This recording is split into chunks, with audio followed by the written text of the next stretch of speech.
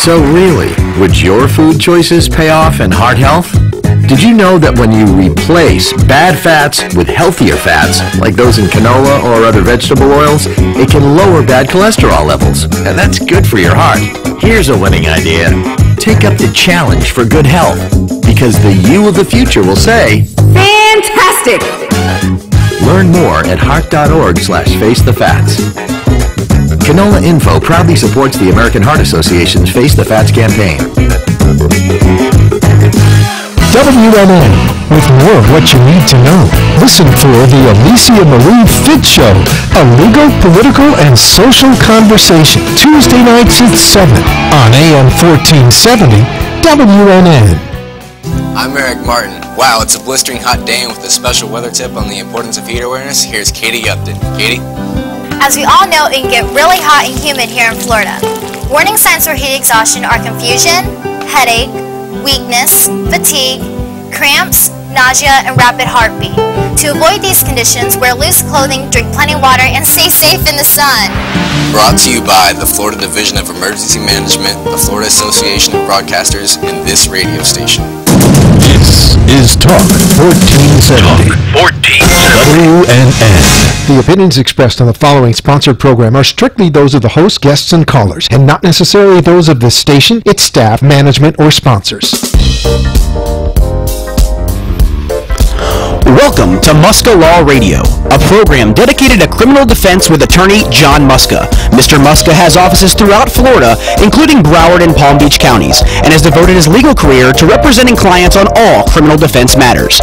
Mr. Musca has been a member in good standing with the Florida Bar since 1999. He's a lifetime member of the National Association of Criminal Defense Lawyers, the Florida Association of Criminal Defense Lawyers, and NORML. In 2012, he was selected as a Rising Star by Super Lawyers, a distinction reserved to the top 2.5% of all criminal lawyers in Florida. For the past four years, Mr. Musca has been designated one of the top 100 trial lawyers in Florida by the National Trial Lawyers Association. He also enjoys a perfect 10 rating with Avvo, a respected independent lawyer rating organization. If you or someone you know is under investigation or accused of a crime, or if you have any questions related to criminal law, you don't want to miss today's show with attorney John Musca. To watch this show stream live, visit www.muscalaw.com and click on the radio link. Now, here's attorney John Musca. Thank you so much. Pleasure to be here this evening. Good evening, South Florida and listeners everywhere. Pleasure to be here, really. Uh, thank you for joining us. This is the first show of its kind. Uh, this is our first presentation, our first show, and I wanted to welcome everybody. Uh, the, the, the first question I want to I want to answer is why did I decide to why did I decide to do the program? And and, and the answer is is very simple uh, because I enjoy what I do, and I feel that the purpose of this program could be best served by educating the public and and doing everything that that I can to relay my experience, uh, what I've learned over the past uh, 15 years practicing law, and uh, what I could do to help others. And and truly, that's why I'm here. Um, so uh, give us a shout. We're at 1 565 1470. You can call into the show. We'll take your calls live. And uh, I'll do the best I can to answer your questions within my limitations. In other words, there's certain questions that I will not be able to answer. So, uh, on account of regulatory reasons, if I'm if I decline to answer, I, I hope to not offend or insult anybody. But please understand that those are the rules and limitations that we work under. Um, however, uh, there is quite a bit of, of, of, content material that we can cover in the hour of time that we have together here this evening. So once again, 1-888-565-1470. Feel free to call into the show and ask me any questions you may. The uh, the second the second question that I that I get asked a lot, and probably the most common question when I when I meet people in public and elsewhere, why did I uh, become a defense lawyer and how can I defend somebody that I know is guilty? The answer to me is very simple. Everybody is entitled to a complete defense. If you're accused of a crime in the state of Florida, in any state, in this country, you're presumed innocent by law. That means that the law must presume that you did not commit the offense un unless or until the prosecutor is able to satisfy the burden and prove beyond and to the exclusion of every reasonable doubt that that uh, uh, that that you should be convicted. So uh, that's my answer, and and the counter argument to that, and what what other people would say is, uh, well, again, you know, that's all fine and good, but how can you defend somebody that you know is guilty?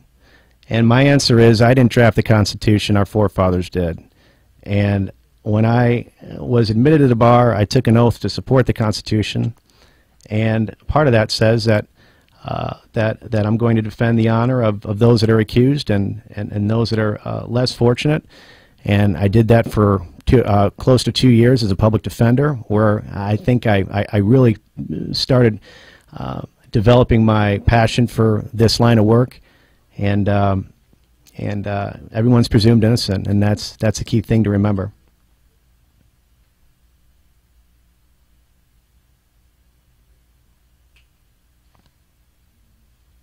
Now, with respect to the areas of practice that we're going to cover today, uh, we're, we're going to talk a little bit about the criminal law process, okay, from beginning to end. Um, first, I think it's important to recognize that when, when someone is arrested for a criminal offense, whatever type that is, uh, that they're they're merely arrested and charged by the sheriff's office. They have not formally filed charges. That's that's something that a lot of people don't understand. There there is a there are stages to the criminal process. The first stage is the arresting and the booking stage, uh, and and that's when the sheriff's office makes a decision to charge. So, for example, if somebody is is stopped for a DUI arrest and and is um, is cited for DUI um, at that point, the sheriff's office gathers their information together. They marshal together their evidence, the arrest materials. Uh, the person is then arrested, and then uh, and then they're entitled to a bond. Uh, every person that's arrested in the state of Florida uh, is entitled to be brought before the court within 24 hours of the date of the arrest uh, for the purposes of setting bond and for the purpose of determining if there's probable cause to warrant their detention. That's the first step. Um, once the person is arrested, uh, then uh, some people are able to financially afford a bond and some people are not. Those that are not uh, have to remain in custody until their case is resolved or disposed of. Those who, who are able to afford a bond uh, post bond and then they await their first court date, which is called the arraignment date. The arraignment date is the date on or by which the prosecutor is ob obligated to make a formal filing decision. So this would be more or less the second stage. Um, again, here the prosecutor makes the formal filing decision, not the sheriff's office. So the prosecutor will then receive the information from the sheriff's office and, and make a decision on, on, uh, on whether to pursue formal criminal charges by filing what's called an information in the state of Florida uh, or declining prosecution. Um, most cases that reach the prosecutor uh, at that at that stage, uh, the prosecutors decide to go ahead and file formal criminal charges, um, and it's at that point that the that the formal uh, action gets set into motion in court. Um, many people ask me about the arraignment date. Do do I have to attend my arraignment date under the rules of, of criminal procedure? Uh, we are allowed to, as defense lawyers, to waive your appearance at the arraignment by filing a waiver of appearance. Um, we also, in preparation for the arraignment, file a, a not guilty plea uh, uh, as defense lawyers. It, it, would be a not guilty plea, not a not a guilty plea. If it's a guilty plea, you don't need a defense lawyer. Um, so we would then, in preparation for the arraignment, file a not guilty plea.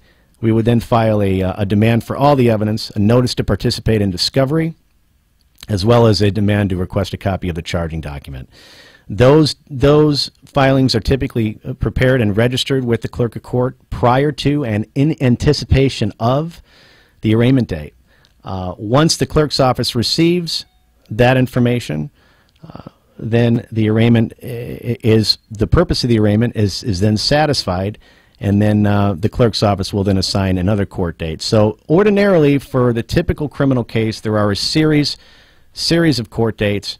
Um, on misdemeanor cases, we are able to typically file a waiver of not only the arraignment but also the pretrial conferences uh, to allow defense counsel to represent the interests of the accused in court so that they don't have to physically appear and show up. Um, although some judges uh, in certain areas would require you to appear in either case. Uh, so definitely make sure that you consult with your defense attorney first before you decide to just not show up to court. Um, the the next stage after the pretrial conferences, we move toward a trial date. Um, judges typically uh, like to get cases moving along. Um, they don't like cases on their docket for an extended period of time, and defense lawyers know it. So whether it's a felony or a misdemeanor, uh, we're, we're moving constantly toward resolution. We're, we're speaking with prosecutors, in ongoing dialogue. We're, we're engaging witnesses. We're, we're setting up and identifying pretrial uh, issue, uh, issues for pretrial motions that we can file. We're participating in the discovery process. We're doing everything we can to move toward a resolution on the case that's favorable for our client. That may be a trial. It may not be a trial. It really all depends on, on the strengths and, and, and weaknesses of the state's case and, and, and what we're able to, to gather and what we're able to do as defense lawyers throughout that process in strengthening and bolstering our case. We're going to take a brief commercial break and we'll be right back with you.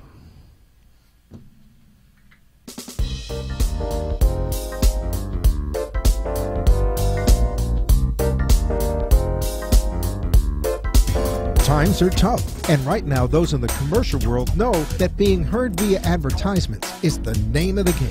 AmpSquare.tv understands how important advertisement is and is proud to express that it's truly the only plugged in internet television production company on the market. AMP2.tv live streams all their shows across all the major selling markets in the U.S. and abroad. Call them at 866 224 5422. The AmpSquare.tv library allows productions to be seen over and over again, making commercial platforms more usable. Call 866 224 5422. Toll free 866 224 5422. AMP2.tv, the first and only internet television network that's truly plugged in.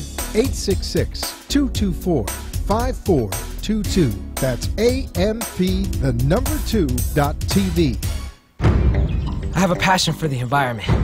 That's why I mountain bike. I love being in the woods, on near vertical trails. I relish the challenge when I can appreciate the best nature has to offer. So it was only natural that I would choose a career in the elements, where I can make a difference. That's why I serve in the United States Coast Guard. We monitor commercial vessels, making sure our ports and waterways are safe and cleaned from oil or other hazardous material. We patrol our fisheries and protect marine wildlife and their habitats. With all we do, it's about protecting America. This is a lot like mountain biking. It's always exciting to navigate through the next challenge. Were you born ready to protect America, our environment, our resources, our people? Learn more at gocoastguard.com. Sponsored by the United States Coast Guard in cooperation with the Florida Association of Broadcasters and this station. I try to fit in, but being made out of insects and bugs, it's not easy. They call me invasive species or hungry pests. Yeah, like I don't have feelers. I mean feelings. Sometimes I have to turn the other cheek, from the one made of flies to the one made of beetles. You should think of me as a culinary tourist. I'm just trying to eat my way through Florida. Your trees and crops, there's so much to tempt me. I manage, thanks to the people who help me get around, mostly on the things they move and pack. Hungry pests? Yeah, I'm hungry. Who can blame me? You do put out quite a spread. I'd ask you to join me for a bite, but there's really only enough for me. Hungry pests are invasive insects and pests that threaten to devour Florida's trees and crops. It's up to each of us to leave hungry pests behind. Go to hungrypests.com and get the facts. That's hungrypests.com. A message from the USDA. What do you want to be when you're older? Hold on, this is like a deep question. Uh. When I'm older, I want to be a singer. That's that's my goal. I'm not sure I want to invent the supercomputer, but I definitely want to build the supercomputer. I want to be an inspiration an organizer of, of like do-gooders. I want to be a veterinarian. I want to help out animals and work with them. I want to be a media mogul. Just rule the world. When I'm older, I want to be anything but the one that doesn't fit in, the one that people don't love. Everyone deserves a dream. Everyone. But some of us are depressed, Anxious, Scared. Angry. alone. don't feel like ourselves. We can't even focus on the present, much less the future. If that's you, say something. It's okay to talk. It's okay to share. It's okay to get help or help someone. Talk to someone. It it helps. And people people will listen. Add your voice at okaytotalk.org. okaytotalk.org. Brought to you by the National Association of Broadcasters. You have been listening to attorney John Musca of Musca Law, with offices throughout Florida, including Broward and Palm Beach County. If you have questions about criminal law or related matters, call into the show at 1 888 565 1470. Join us every Thursday at 4 p.m. for Musca Law Radio, a program dedicated to all criminal defense matters. Joining us live now in our studio, here's attorney John Musca. Thank you, Blake. Welcome back, South Florida and listeners everywhere. Running into some difficulties streaming live on www.muscalaw.com. We expect to have that up shortly. Um, I wanted to get back a little bit to what we were talking earlier about waiving waiving appearances at, uh, at at court dates. Um, the I spoke earlier about misdemeanors. Typically, uh, that is acceptable. Uh, we are able to waive your appearance at, at, at pretrial conferences and status checks. Um, felonies, ordinarily, though, not so not so fortunate. Um, we can file a waiver of your appearance at the first court date, which is the arraignment date, but not ordinarily at subsequent court dates uh, for felony charges, uh, unless or until they're reduced to lesser offenses. Uh, when we could step in, obviously, and and uh, and and file waivers in those cases. I have uh, joining me live attorney Marquin Renard, who is a 30-year criminal defense attorney, veteran. Uh, he's been practicing law for quite a long time. Marquin, are you with us? I am John. Okay, thank you for joining us. Um, Marquin, the the uh, we're, we're we're talking a little bit about the the criminal law process. Uh, I, I covered the uh, the arrest, uh, you know, from the arrest to the uh, arraignment stage to the pretrial conference stage on both misdemeanors and, and felonies. We're, we're we're speaking about waivers. Um, waivers are ordinarily acceptable in misdemeanor cases, but not on felony cases. And we're talking about how uh, we're we're moving toward the resolution stage, be it either a trial or uh, a resolution vis-a-vis a plea. Um, once again, a, a, attorney Marquin Renard joining us live, a 30-year criminal defense attorney veteran. Um, Marquin, I want to I want to take a, a, break from talking about the criminal law process a little bit and kind of just ask you about uh, about your experience as a defense lawyer. You're a full-time associate of Musca Law at this point, and and you know, I want to I'd like to see how you would handle this question that a lot of people ask me, uh, almost invariably, all the time. Uh, how how can you defend somebody that you know is guilty? Well, everyone has the right to be proven guilty, and our job as a defense attorney is, is pretty much, in my opinion, a checks and balance on the entire criminal justice system. Uh, everyone has the the the job to perform. Everyone uh, has the right, if they're charged with a crime, to be defended. And I'll start with, I can't say that I know someone is guilty. A person may come in and say, I've been arrested for this offense and I'm guilty, I did it, but they may have a misconception of what the law is and what the requirements are uh, in order to actually be proven guilty beyond a reasonable doubt of a specific crime. So uh, it's not really my position to have an opinion as to whether a person is guilty or not, but uh, it's it's oftentimes difficult to know that a person is guilty because they really don't know if they've committed a criminal offense or not. Uh, but sometimes the criminal defense isn't about getting a person off, but it's about getting a just result in the case, a just result for everyone involved. And part of defense is is to reach that goal, is to reach a resolution which is just. I certainly would not want to be judged on the worst day of my life, and oftentimes that's the the case that we find our clients in is that they are good people, they're honest people, they've been hardworking, uh, they made a mistake. They had the worst day of their life. And I have no problems or difficulties at all defending someone or representing someone uh, who had the worst day of their life, but it was an abnormal day for them, and to and to search out and to find mitigation and to present that mitigation to the prosecutors in order to reach a just and fair result for everyone involved. So. Uh, it's not only that everyone is entitled to representation, uh, but it's it's also that that just because a person is charged with a crime and just because they might actually be guilty of that crime doesn't mean that they they aren't entitled to have someone represent their interest, uh, to be their advocate, to present uh, mitigation, to present their side of the story, and to reach the best possible possible result for them. Thank you. Uh, Mark, when you've you've defended, uh, you you you began your career as a public defender. How how many years did you serve as a public defender? Uh, I believe it was a total of about sixteen or seventeen years. Okay, and and in that capacity, you represented hundreds of people accused of a wide range and and and, and gamut of of criminal offenses, ranging from uh, simple misdemeanor, second degree misdemeanor cases, breach of peace, all the way up to and including uh, uh, serious uh, sex offenses, uh, capital sexual battery, and the like. Correct? That's correct. Okay. And what what would you what would you regard as the most real challenge that that, that you faced?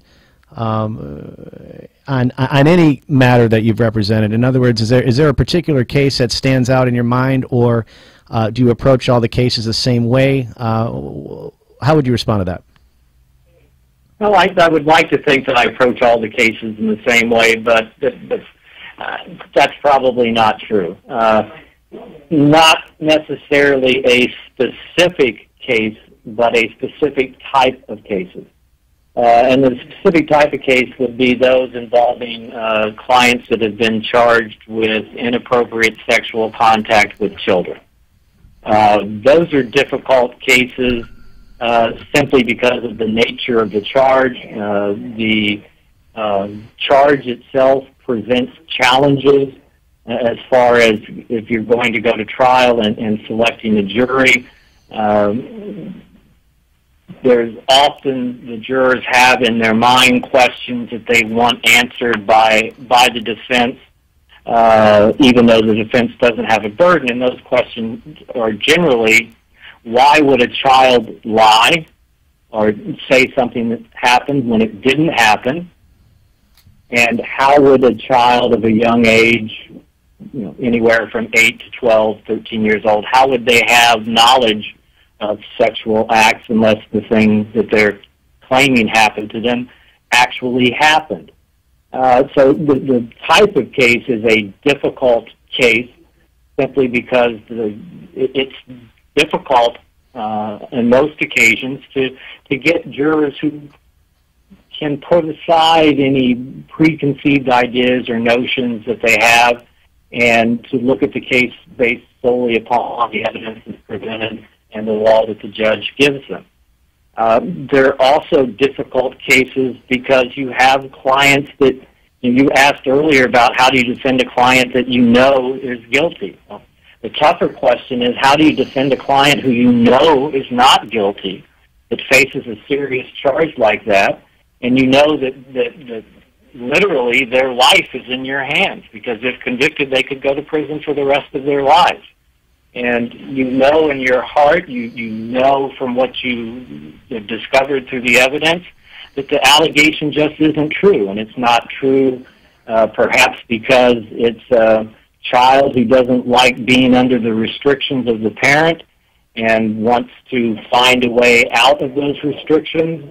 It's a child who uh, unfortunately finds themselves in the position of being used as a pawn in a custody battle uh, it, it's it's those types of cases, the, the the sexual cases that deal with child as, as a, a child as a victim of a crime that, that I find the most difficult because no matter what the circumstances are, there there really isn't a winner in the case, and the the child is is ultimately a loser. Uh, the, the child is, is not going to come out victorious if the defendant is found guilty, and the defendant really did it. And there's some there's some um, satisfaction, I suppose, uh, for, for the conviction, but ultimately there's still a lifelong uh, effect that's going to be on that child. If the child has made something up that's resulted in a, a client being sentenced to a period of time in prison, if the child was used by the other parent as a pawn, the, the child is still the victim in that case, and it's still going to have long-lasting effects on them. So, um, the, the, the long answer, I guess, to your short question is, is that it's not really a specific case that comes to mind, but a specific type of case, and, and the, the Any- cases that involve children as victims, especially in the sexual area uh, of the law, are extremely difficult cases. And each case indeed is a challenge. Uh, you have uh, represented uh, folks on serious sex crime allegations with no physical evidence, uh, merely uh, someone saying that it happened. Um, those those those those cases uh, would would be flimsier than than most, though. At that point, without physical evidence. Those cases are the most difficult to deal with your clients on because they, like most people, think that well, there's no evidence. They they don't have an appreciation or an understanding that someone's word is evidence, and someone's word is enough as evidence uh, to result in a conviction if that word is believed. Uh, but uh, those are those are the most trying types of cases where uh, it's involved in a he said she said type of thing where the jury has to has to come to a conclusion as to who they believe and whether or not if it's the uh, alleged victim in the case that they believe, do they believe them beyond and to the exclusion of, of a reasonable doubt? Uh, in, any parent who has more than one child knows how difficult it is if something happens in the house and, and you don't know which child did it, and they're both denying it. It's difficult at times to know which child is telling the truth and which child's not telling the truth. And certainly, there's uh, there's other motivations involved too, Mr. Renard, that I that I've encountered uh, many times. Uh, uh, there there's a split family. There's a divorced couple. Uh, one one is trying to gain leverage uh, by telling you know uh, trying to, to, to, coach the uh, the little girl or, or, or the little boy for that matter. Um, and, and I, I think it's important. Again, you know, we go back to, to the same uh, the same principle. Uh, all are presumed innocent unless or until the state is able to meet the burden of proof. Um, we spoke earlier. I explained to the listening audience uh, some time ago about the stages of the criminal process as far as the the intake with the sheriff's office. The sheriff's office would gather the information, and then it would be moved on to uh, the prosecutor to make a formal filing decision.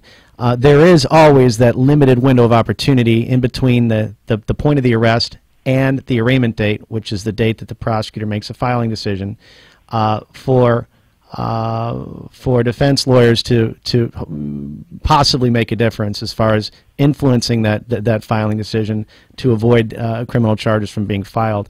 Um, a- and we have seen that uh, in our office uh, with uh, with those that have, have been accused of uh, of serious sex offenses or, or non-serious sex offenses. Although I don't know any sex offense allegation that is non-serious.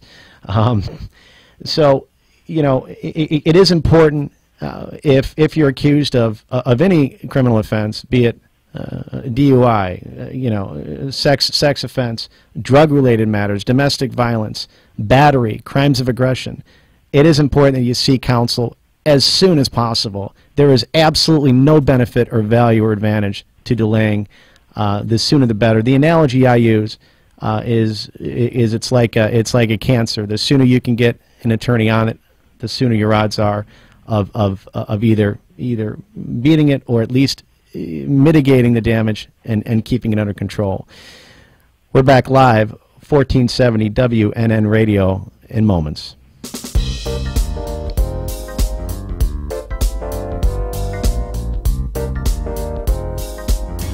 Times are tough, and right now, those in the commercial world know that being heard via advertisements is the name of the game. AmpSquare.tv understands how important advertisement is and is proud to express that it's truly the only plugged in internet television production company on the market. AMP2.tv live streams all their shows across all the major selling markets in the U.S. and abroad. Call them at 866 224 5422. The AmpSquare.tv library allows productions to be seen over and over again, making commercial platforms more usable. Call 866 224 5422. Toll free 866 224 5422. AMP2.tv, the first and only internet television network that's truly plugged in. 866 224 5422. That's AMP, the number two dot TV. America's service members and veterans are strong, forged out of bravery, sacrifice, and duty. They are diverse, unique, from all corners of the country, and, thanks to their common experience, a family for life. But whether they served in lands far away or communities close to home, some of these men and women may face difficult times or even crisis. But sometimes reaching out for help can be the most challenging and worthwhile mission of all for veterans, service members, reserve, and National Guard. Thankfully, friends, family, and communities are standing by their service members and veterans now more than ever. We're all in this together. When you recognize something isn't right, make the call to the Veterans Crisis Line or Military Crisis Line. During times of crisis, reach out and call. Dial 1 800 273 8255 and press 1 or chat online at veteranscrisisline.net or text 838 255. The thought of my sons growing up without me inspired me to quit smoking. I talked to my doctors and then I threw away all my cigarettes, ashtrays, and lighters. I started exercising instead of smoking. Getting support from friends online kept me on track. Staying away from alcohol when I was first quitting was key. Instead of smoking after I ate, I'd get up and take a walk. I missed having a cigarette in my hand, so I'd hold a pen or a straw, anything. Until I knew I wouldn't give in to temptation, I spent more time with my friends who didn't smoke. I went to places that were smoke free. I didn't stay quit the very first time I tried. I kept on trying, and I learned something each time. Do whatever it takes. No matter how many times it takes. I quit. I quit. I quit. We did it, so can you. You can quit. For free help, call 1 800 QUIT NOW. A message from the U.S. Department of Health and Human Services and CDC. I'm in almost every school bus and classroom. I go to school with your children. We say the Pledge of Allegiance together. You see me around the neighborhood and you tell me that I'm a pretty good kid. Well, I'm one out of every five children in America, and I'm struggling with hunger. This problem is closer than you think. My teacher tells me we can grow up to be whatever we want. I want to grow up to be someone who doesn't go to bed hungry. There's enough food in this country to feed everybody. Please visit feedingamerica.org today and find your local food bank for ways to help. Every dollar you donate helps provide eight meals for kids like me, quietly struggling with hunger. Together, we are Feeding America, brought to you by Feeding America and the Ad Council. There are many sounds in your day to day life. There are sounds that wake you up, sounds that make you smile, sounds that energize you.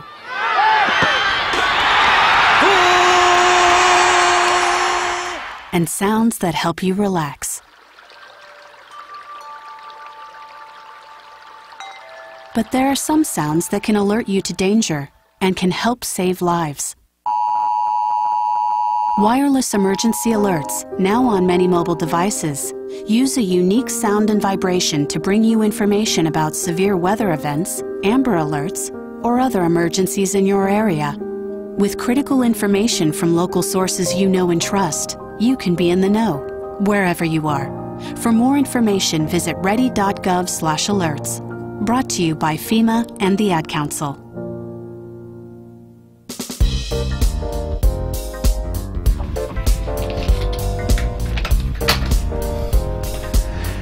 Have been listening to attorney John Musca of Musca Law, with offices throughout Florida, including Broward and Palm Beach County. If you have questions about criminal law or related matters, call into the show at 1 565 1470. Join us every Thursday at 4 p.m. for Musca Law Radio, a program dedicated to all criminal defense matters. Joining us live now in our studio, here's attorney John Musca. Thank you again, Blake. Welcome back to the show, 1470 AM WNN. Uh, joining me is attorney Mark Wynn Renard. Mark Wynn, are you still with us? Yes, sir. Okay, thank you. Uh, we, we're, uh, we're, we're, we're going to segue now. I, I, we appreciate your comments on uh, sex crime defense and uh, how delicate those matters are. Uh, I am impressing upon the uh, listening audience, all South Florida and elsewhere, of the importance to consult an attorney as soon as you can, as soon as one can, uh, if, if they're in a position of being accused of uh, any any type of, of matter, really, uh, it, but but especially of the more serious nature. I want to thank you for joining us, Mr. Renard. Is there anything else you'd like to add?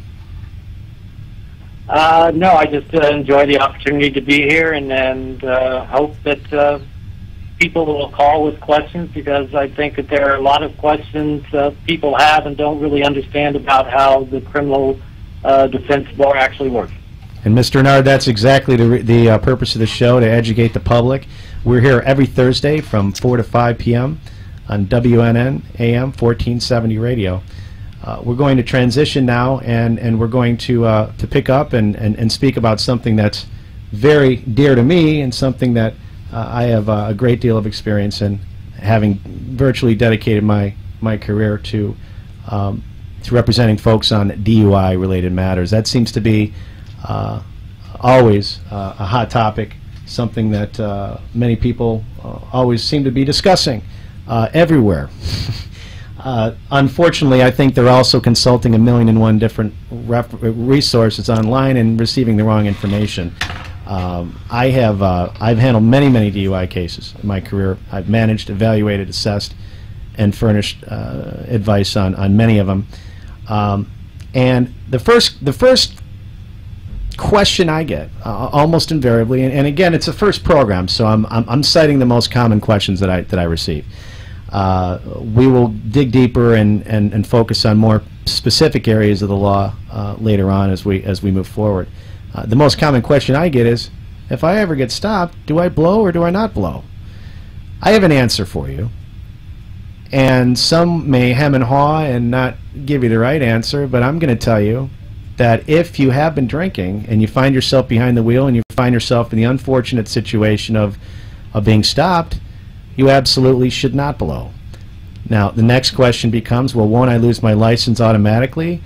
The answer is yes, but something law enforcement doesn't tell you when they're reading implied consent is that you will be entitled to a uh, a formal administrative review. In other words, you can challenge the DMV suspension that's handed down.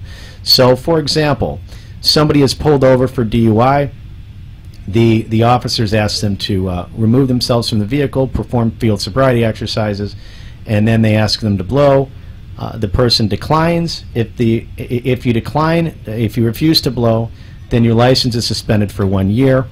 Uh, if you do blow, and the legal limit in Florida, of course, is a .08, then your license will be suspended for six months. However, again, law enforcement has not been telling uh, the accused and defendants in this situation for years that what you are entitled to is a formal administrative review hearing. And joining me live, if we can get her on the phone here, is attorney Rebecca Sinalia. Um, Rebecca has dedicated her practice, or limits her practice, I should say, to representing people on formal administrative review hearings. That is one one component uh, of of the case. Uh, if you're arrested for DUI, of course, there's also the criminal component. So it, it is very important to understand that there are two cases that are created anytime one is arrested under suspicion for DUI in the state of Florida. A DMV case and a criminal DUI case. And joining me live is attorney Rebecca Sinali. Rebecca, how are you? Good afternoon, Mr. Musca. Thanks, thanks for joining us. Ms. Sinalia is a full-time associate of Musca Law. I'm uh, pleased that she was able to take time off, and she is very, very busy, and and I mean that, uh, uh, Rebecca. So thanks for thanks for joining us. Rebecca, what is what is the uh, you know ha- having dedicated uh, uh, all of your time basically to to representing people on formal administrative review hearings? I discussed with the listening audience moments ago that uh, law enforcement does not tell you that you're entitled to a formal review hearing. Uh, in the event that you blow uh, over the uh, legal limit, or if you refuse, you're looking at a, either a uh, six-month or a 12-month suspension, respectively. Uh, why do you think law enforcement doesn't doesn't doesn't tell you that? Well, just to clarify, Mr. Musca, there are differing periods of the suspension depending on the history and facts of the case. Um, if it's a first time for blowing over the limit, that would be a six-month suspension. But if it's a second or subsequent offense for blowing over the limit, that would be a one-year license suspension. And in the case of a refusal, a first time refusing the breath, blood, or urine test request would be a one-year suspension, whereas a second or subsequent refusal would be an 18-month license suspension.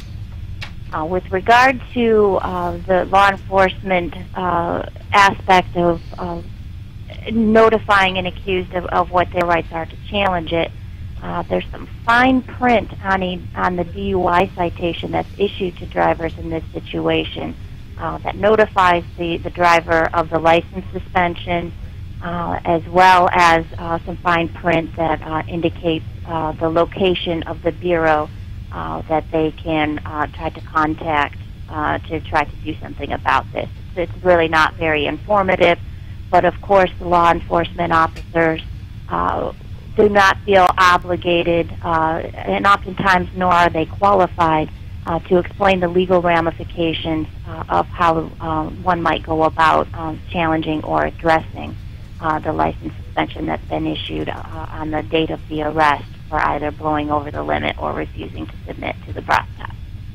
Uh, well, what I find a little more interesting is the lack of information provided to somebody uh, about the difference in the consequences uh, if they refuse the breath test or uh, as opposed to taking the breath test and blowing over the limit. The Florida implied consent law uh, obligates the law enforcement officer to notify the driver uh, that their license will be suspended one year for a first-time refusal or 18 months for a second or subsequent refusal, as well as uh, some additional information uh, with regard to the refusal being admissible in court, and if it's a second or subsequent refusal, uh, that it can also be the basis of, of a separate independent misdemeanor charge in the criminal court case.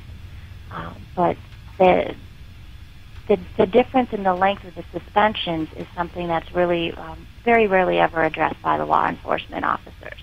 Uh, typically, if a driver asks the law enforcement officer, well, I'm having trouble making this decision, you know, uh, somebody who's having, as Mr. Musca referenced earlier, the worst day of their life, uh, and possibly even being intoxicated at that point, although certainly not all of our clients are intoxicated by any means, and they're, they're uh, saddled with a very important legal decision that has ramifications on their future and the only information that they are being provided to help guide them or, or uh, help them make the decision for themselves is that okay, well, if you refuse this breath test, your license will be suspended for one year if it's your first time, or 18 months if it's a second or subsequent refusal. And the driver, of course, may be thinking, well, what happens if I blow and it's over the limit? Law enforcement officers um, very rarely will answer that question for the driver. Right. And and I think that's an unfortunate uh, aspect of, of DUI law that um, the the driver is really forced to make such an important decision without having access to um, to what I think would be important information to to weigh the options and make a, a knowledgeable and intelligent decision. Um, they oftentimes uh, the the driver is, is told before the breath test of what the consequence is for refusing. So the person may go ahead and, and submit to the breath test then, and then be very surprised to find out after they blow over the limit. Well, your license is getting suspended anyway. Right. That's and and, and, and, and that's the point.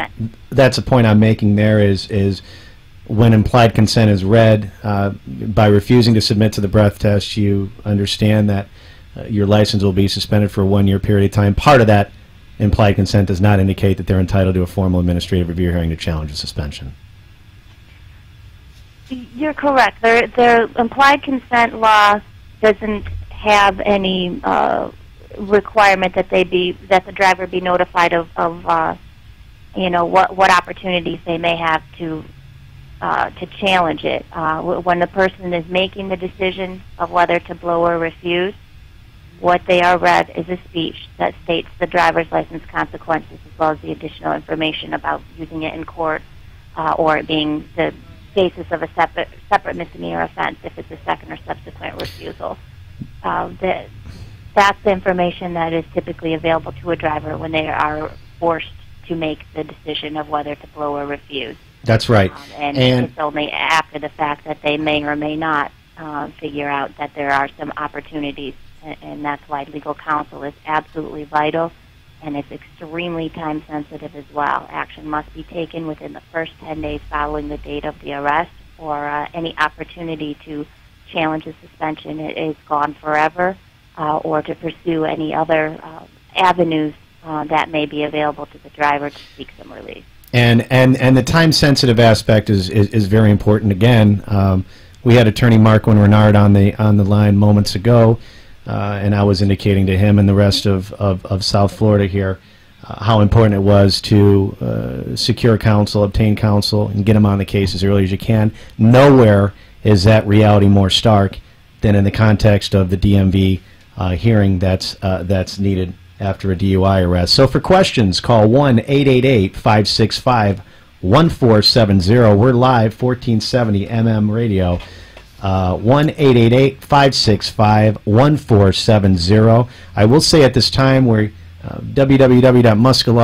has had difficulty with their streaming capability. We will be available and have that online for you next Thursday. In the meantime, you can go to www.wnn1470.com to watch us stream live now for the balance of the show. Any questions? Uh, concerning the uh, the DMV part of the after DUI cases. Attorney Rebecca Sonalia has handled hundreds of these cases um, and is is very fluent, experienced, and qualified uh, to handle these types of matters. Um, moving on, the the other component of the case is is a criminal aspect, and and Rebecca, I'll, I'll ask you to elaborate on on the two the, the, the, two real purposes of the formal hearing. First and foremost, to challenge the suspension, of course, uh, and do everything that we that that that defense counsel possibly can to nullify the suspension.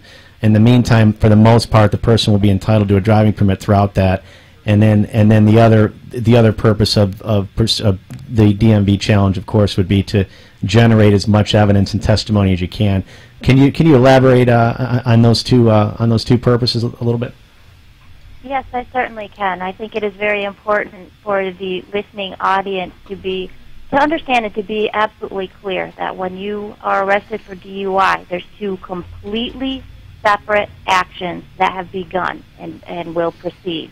There's the criminal charge of DUI that will proceed in the court before a judge against a prosecutor who's called a, an assistant state attorney, and that assistant state attorney is, is saddled with the goal of trying to prove that the person has committed the law and and uh, or violated the law and committed the offense of driving under the influence. But completely separate and completely independent of the criminal charges proceeding in the court, there's this automatic DMV driver's license suspension that's effective on the date of arrest for most DUI cases. There are a couple of uh, exceptions to this, but by and large, uh, the, the the arrestee is typically going to have an automatic license suspension on the front end for either refusing to submit to a breath, blood, or urine test, or for submitting, uh, and the results being over the legal limit of .08. Very good. In every respect, the criminal court case is completely separate and independent from the DMV driver's license suspension matter. And we're gonna and we're gonna elaborate a little bit for a little bit later on, uh, Rebecca, on the on the criminal case. Uh, having already touched upon the DMV case, we do have Cliff that's calling in from Fort Lauderdale that has a question. Cliff, are you with us? Yes. Hi. Good afternoon, guys. Good afternoon. Thanks very, for joining us. Very very important topic.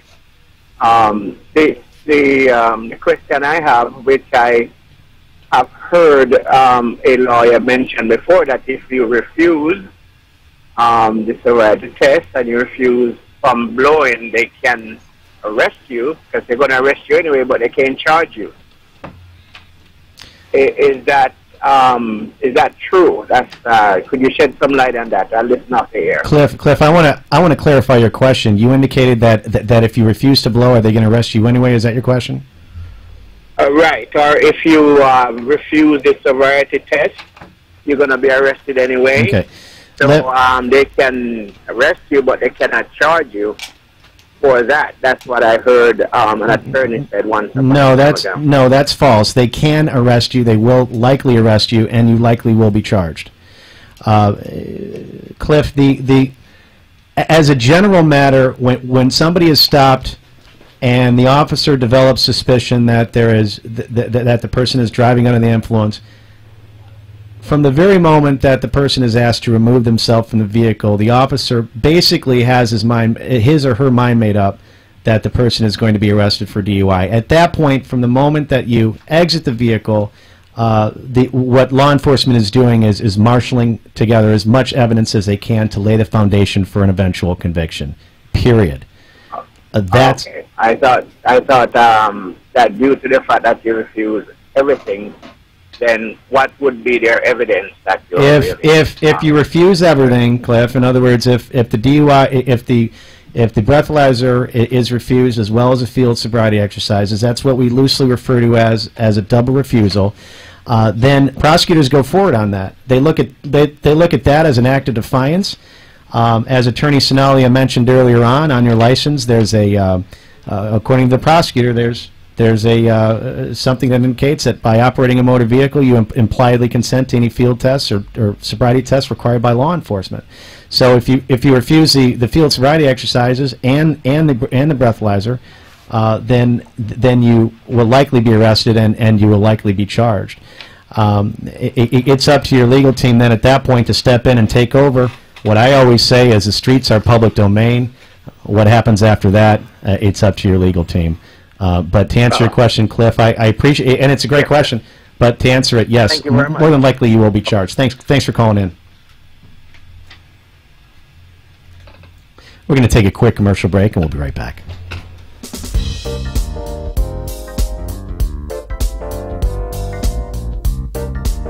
Times are tough, and right now, those in the commercial world know that being heard via advertisements is the name of the game. AmpSquare.tv understands how important advertisement is and is proud to express that it's truly the only plugged in internet television production company on the market. AMP2.tv live streams all their shows across all the major selling markets in the U.S. and abroad. Call them at 866 224 5422. The AmpSquare.tv library allows productions to be seen over and over again, making commercial platforms more usable. Call 866 224 5422. Toll free 866 224 5422. AMP2.tv, the first and only internet television network that's truly plugged in. 866 224 5422. That's AMP, the number two dot TV. My name is Sue Smith. I'm 38 years old and I work at a graphic design company. Which is funny because I couldn't even draw a stick figure when I was a kid. But I met someone who told me, you know what? You can do anything if you really want to. And if the teenage me were here, she'd tell you, I wouldn't be into drawing and art if it wasn't for Big Brothers Big Sisters. Most kids from my neighborhood don't get into art, they get into trouble. But I was lucky because my big sister showed me early on that I didn't have to be like most people. And to the young me, That meant a lot. My big sister's name is Sheila, and Sheila is the reason that this eight year old grows up to have an amazing job as a graphic designer. Whether you donate money or time, you're helping Big Brothers Big Sisters help a child. And that can last a lifetime. Start something today at bigbrothersbigsisters.org. Brought to you by Big Brothers Big Sisters and the Ad Council. You have been listening to attorney John Musca of Musca Law, with offices throughout Florida, including Broward and Palm Beach County. If you have questions about criminal law or related matters, call into the show at 1 888 565 1470. Join us every Thursday at 4 p.m. for Musca Law Radio, a program dedicated to all criminal defense matters. Joining us live now in our studio, here's attorney John Musca. Thank you for joining us, South Florida and listeners uh, across the state and elsewhere. Uh, the streaming uh, function, the, the streaming video of this will appear uh, at 5 o'clock uh, due to technical difficulties. Uh, the entire program you could watch on www.muscalaw.com. Click on the radio link um, and, and join us. Um, phone number 888-565-1470 uh, is our number here. Um, I, I, just want to, I, I want to, in, in conclusion, summarize, and I thank Cliff for calling in earlier on today. Uh, Cliff brought up a good point. Don't give up evidence. The less evidence you give up, the better. You have an absolute unfettered constitutional right to remain silent. It's very, very important that you honor that. Um, and, and, and, we touched upon the legal process today. We're going to do this every Thursday from 4 to 5 p.m. right here on WNN 1470 radio, uh, 50,000 watt station, broadcasting live each and every time.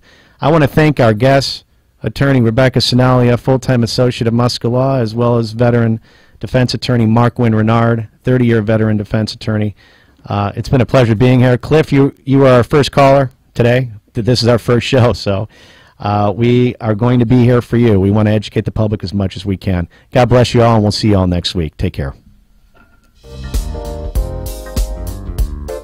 Been listening to Musca Law Radio with attorney John Musca, with offices throughout Florida, including Broward and Palm Beach County. Join us every Thursday at 4 p.m. right here on 1470 AM, WNN, or log on to muscalaw.com and watch the program stream live. Thank you for joining us.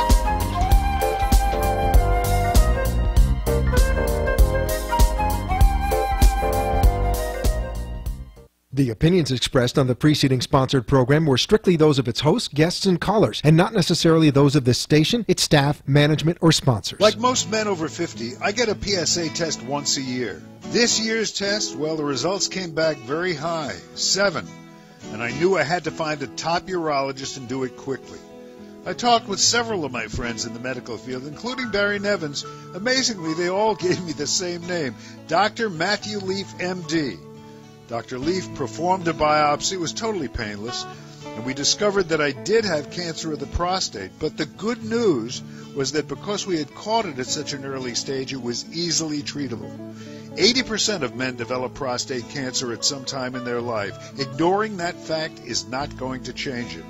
If you're over 50, you need a prostate exam once a year. You want a doctor who you can trust, a specialist in the field who knows what he's doing, and that doctor is Dr. Matthew Leaf, the doctor who saved my life. Located in Coral Springs, call 954 755 3801.